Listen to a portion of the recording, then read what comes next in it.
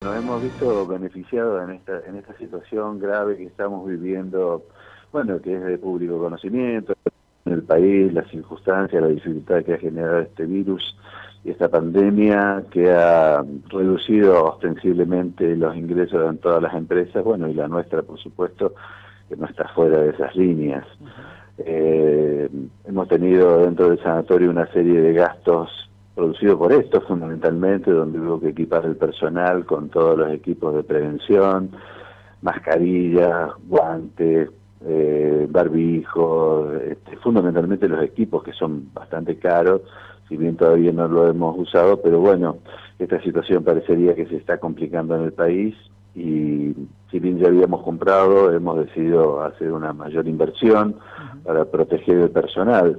Imagínate cuáles serían los inconvenientes si llega a haber un caso en San Carlos y llega al sanatorio.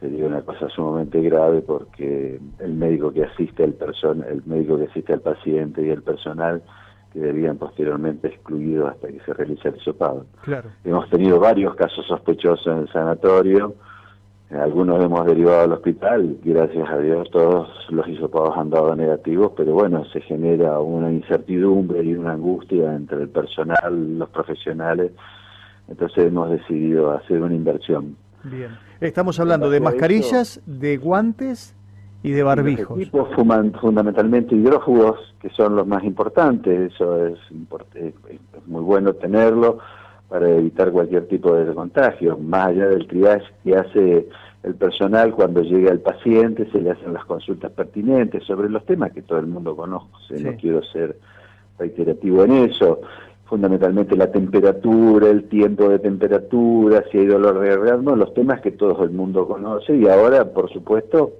si viene el virus es de circulación interna dentro del país, si hay gente que viene del AMBA o si viene de, la, de, la ciudad de Buenos Aires, viste que hay un foco de infección, hubo dos mil y pico de casos ayer sospechosos y confirmados, este, entonces bueno, como puede haber circulación de gente que va de una provincia a otra o gente que no tiene la suficiente conciencia del cuidado y la reciprocidad en la en el, en el cuidado entre él y, los que lo rodean, bueno, eso abre muchas expectativas y bueno, uno tiene que estar preparado para estas situaciones y bueno, el personal para nosotros es fundamental. Imagínate, tenemos que cerrar parte del sanatorio si esto no sucede. Claro. Y estamos hablando de que, que hoy el sanatorio tiene qué cantidad de personal, Eugenio?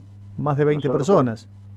¿Cuántos somos en el eh, personal dentro del sanatorio? Son 15, pero después imagínate que hay alrededor de 15 médicos más que están trabajando aquí. Claro.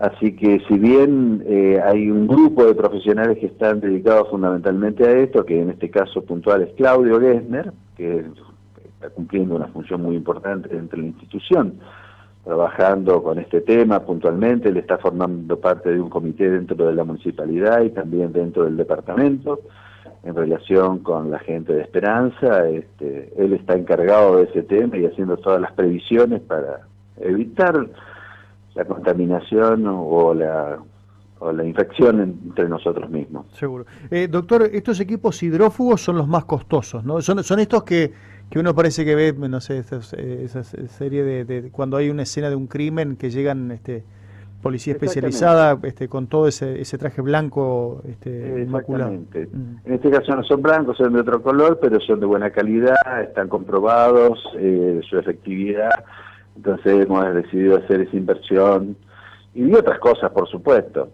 Eh, la ventaja de esto, eh, lo que nos movió a hacer esta inversión, este, este, solicitar este crédito, como vos lo dijiste recién, eh, un crédito a muy largo plazo, dos años, imagínate vos, con la posibilidad de, de inflación que va a haber lamentablemente en el país y con una tasa muy muy baja, eh, fue, creo que fue para nosotros una tranquilidad para hacer esta inversión pequeña y sabemos que es fácilmente pagable, creo que acá no hay fines de lucro, solamente esta, esta institución, como acaba de decir, está más que nada, esta asociación civil está más preocupada en, en colaborar que en obtener algún tipo de beneficio de rentabilidad. Y hoy la situación económica de, de, la clínica es eh, endeble, imagino, ¿no? Digo, no, no hay, no La situación de la clínica, eh, Tuvimos momentos muy, muy difíciles y yo quiero aprovechar esta oportunidad para agradecerle, esta oportunidad que se me da, para agradecer al personal del sanatorio, porque tuvimos meses muy duros, muy, muy duros, este, fundamentalmente a principio de año, que era consecuencia de la gestión anterior, no, no de la gestión del sanatorio, sino de la gestión del gobierno provincial, nacional, perdón, cuando ingresó el nuevo gobierno nacional hubo algunos aumentos en algunas obras sociales importantes, como el PAMI, que nos permitió de a poquito salir adelante, bueno, pero el personal de enfermería, mucamas, este, tuvimos que hacer este, ingentes esfuerzos y entendieron la situación y llegamos a pagar muy mal. Pero bueno, lentamente nos fuimos acomodando y hoy por hoy hemos podido pagar el 100% del aguinaldo, hemos podido, ya hemos ya tenemos el dinero para hacer los pagos de los próximos sueldos, así que económicamente hemos eh, un poco mejorado la situación y también hemos tenido la ayuda del gobierno nacional con los ATP, que lamentablemente creo que no van a venir más para la provincia de Santa Fe. Pero bueno, la gente sigue eh, con precaución, con temor, eh, eh, hay un, un, muy finito, eh, la gente no viene mucho al consultorio, han disminuido mucho las internaciones, ha disminuido todo el trabajo, obviamente. Y eso se, se visualiza en el final, al final del mes en, la, en los ingresos que tiene la empresa, que tiene gastos fijos como toda empresa. Seguro. Sí, porque el agua sigue llegando, los consumos de luz siguen estando. Por supuesto. No, sí, los, los insumos han pegado un salto cuantitativo, ¿viste? Han aumentado muchísimo. Pero bueno, el fin... Por la devaluación y porque... Empresa, ¿Cómo? Por la devaluación, digo, porque muchos productos son dolarizados. Sí, muchos productos son dolarizados, pero bueno, tenemos algunas ventajas, viste que eh, los, algunos gastos se han mantenido estables, la luz, el gas, este, los impuestos municipales tampoco han aumentado, o sea que esos son, o sea, todos de alguna forma están intentando colaborar en esta crisis que estamos viviendo. Claro. Pero bueno, la empresa no tiene fin de lucro, pero bueno, a fin de mes hay que pagar sueldos, hay que pagar, hay que pagar, hay que pagar, hay que pagar. Y por ahí no hay el trabajo necesario como para ese margen de rentabilidad que deje a la internación este, es muy muy muy muy finito, muy muy escaso. Seguro. Más si, si venían sin cobrar en tiempo y forma por parte de obras sociales, ¿no? Eso también. Eh, también tenemos ese problema que con esta devaluación que tenemos y con esta inflación en ciernes que viene, hay algunas obras sociales que nos están pagando 90 días. Imagínate vos, este, las mismas obras sociales están pidiendo a sus afiliados que no consulten. Tenemos mucha dificultad para poder actualizar o para poder solicitar este, autorizaciones porque las obras sociales no se lo dan. O sea que en medio como que algunas obras sociales aprovechan esta situación como para que no haya prestaciones. Pero bueno, dentro de San Carlos creo que todo el mundo se ha manejado con mucha precaución. Creo que la localidad tiene una conciencia puntual de lo que es esta enfermedad. Creo que es una población con un buen ingreso.